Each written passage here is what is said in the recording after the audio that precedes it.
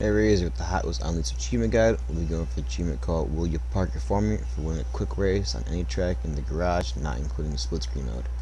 Now at the beginning of this, you might want to put on easy or the options menu, and then go into quick mode, select quick races, get your fastest car, pick the first track, since most of them are going to be locked anyway, and then go ahead and just win the race for the achievement. Now I'm pretty sure these all count towards story mode as well, considering that the races are just called quick races and they will unlock eventually when you get to the certain park, you know, garage and all that, etc, etc, all the categories of these tracks that they're under. So you'll eventually get them during progression, or if you want to make them quicker and single out the actual category you want to get the achievement for, go into quick mode. All you gotta do is win, and after you win, click A to go past the leaderboard menu and the achievement will pop.